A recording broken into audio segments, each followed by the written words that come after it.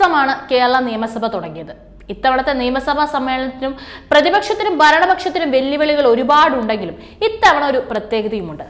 നിയമസഭാ സ്പീക്കർ പാനലിൽ മുഴുവൻ വനിതകളാണ് ഇത്തവണയുള്ളത്. ഭരണപക്ഷത്തു നിന്ന് യു പ്രതിഭയും സി കെ ആഷിയും പ്രതിപക്ഷത്തു നിന്ന് കെ കെ രമയുമാണ് പാനലിലുള്ളത്. ആദ്യമായാണ് പാനലിൽ മുഴുവൻ വനിതകൾ വരുന്നത്. സ്പീക്കർ എൻ ഷംസീർ തന്നെയാണ് ഇത്തരത്തിലൊരു ചരിത്രപരമായ നിർദ്ദേശം മുന്നോട്ട് വെച്ചത്. സ്പീക്കറും ഡെപ്യൂട്ടി സ്പീക്കറും ഇല്ലാത്ത സമയങ്ങളിൽ സഭ നിയന്ത്രിക്കുന്നത് പാനലിലെ അംഗങ്ങളാണ്.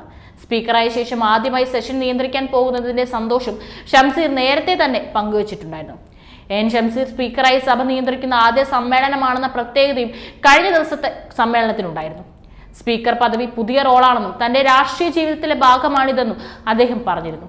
നല്ല രീതിയിൽ സഭ കൊണ്ടുപോകാൻ സാധിക്കുമെന്നാണ് പ്രതീക്ഷയെന്നും മുൻഗാമികളെ പോലെ പ്രവർത്തിക്കുവാൻ ശ്രമിക്കുമെന്നും ഷംസീർ വ്യക്തമാക്കിയിരുന്നു.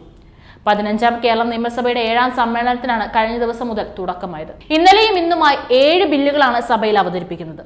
നാല് സർവകലാശാലകളുടെ ചാൻസലർ സ്ഥാനത്തു നിന്നും ഗവർണറെ മാറ്റുവാനുള്ള ബില്ലുകൾ ധനവകുപ്പിന്റെ ബിൽ എന്നിവയെല്ലാമാണ് അവതരിപ്പിക്കാനുള്ളത്.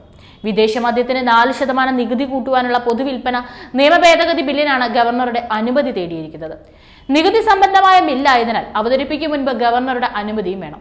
എന്നാൽ ധനമന്ത്രി കെ എൻ ബാലഗോപാലിനോടുള്ള പ്രീതി നഷ്ടപ്പെട്ടെന്ന് വ്യക്തമാക്കിയതോടെ അദ്ദേഹം അവതരിപ്പിക്കേണ്ട ബില്ലിനും ഗവർണർ ആരിഫ് മുഹമ്മദ് ഖാന്റെ അനുമതി ലഭിച്ചിട്ടില്ല.